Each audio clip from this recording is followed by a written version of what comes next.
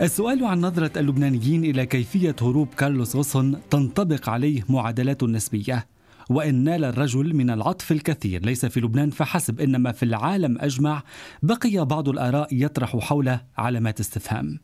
لنسلم جدلا ليس بسيطا منع المتهم كارلوس غصن بعد الإفراج عنه بكفالة من مخاطبة زوجته إلا بواسطة الفيديو. فأعتى السجون الأمريكية مثلا تسمح لأعتى السجناء بمقابلة زوجاتهم بشرا لا روبوتات. الرجل ليس أيا كان هو كارلوس غصن من يوصف بملك صناعة السيارات. هو عملاق في هذا المضمار بشهادة القاسي والداني المحب والمبغض. كان له الفضل في تشكيل واحدة من أكبر وأقوى مجموعات تصنيع السيارات في العالم. في فرنسا عرف بقاتل النفقات. يعود له الفضل في إنقاذ شركة رينو عندما كانت تترنح في نهاية تسعينيات القرن الماضي. أما في اليابان فكان ينظر إليه بوصفه الأجنبي الذي جيء به لإنقاذ نيسان من براثن الإفلاس. الإفلاس في الحالين تحدى غصن مؤسسات عريقة وصارع مصالح متجذرة ممهدا الطريق للنمو والعودة إلى الربحية هو الذي عثر لليابانيين على 400 ألف فرصة عمل. بالتالي هو من أعاد الحيوية للاقتصاد الياباني المتعثر. يومها قيل وكتب إن اليابان لن تنسى ما قدمه لها غصن. بعض اللبنانيين يركز على أن التهم الموجهة إلى كارلوس غصن هي تهم مخالفات مالية لم تثبت بعد. ومع ذلك عمل هذا الياباني الفخري مثل قاتل أو مثل معتد أشعل النار في ثوب الإمبراطور.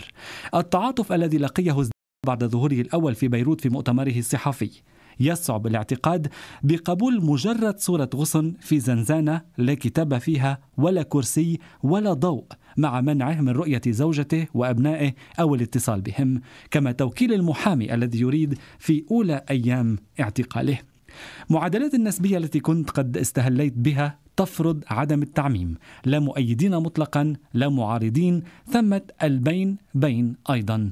من يؤيد هروب غصن يرى في كل ما رافق مؤامرة مباشرة بهدف إزاحته من موقعه كرئيس للتحالف ومنعه من بناء أواصر أقوى بين رينو ونيسان. وعرقلت مساعيه لإدماج شركة فيات كرايزلر الأمريكية الإيطالية في التحالف مما يحوله إلى منتج عالمي هائل الحجم لا يمكن مواجهته. من يطرح علامات الاستفهام حول هروبه يتمسك بالقضاء فلم يكن الرجل ليدان لو لم تكن هناك قضايا فساد تلاحقه وإن لم يثبت ذلك. أما البين بين فهو من يرى أن قصة غصن مثيرة لكنها ليست مسألة كرامة وطنية بل مشكلة فرد يجب أن تحل على قاعدة احترام مبادئ العدالة والقانون. هذا شعبيا. أما في علاقات الدول بين بعضها البعض وفي قصص المعاهدات والاتفاقيات فثمة بحث آخر.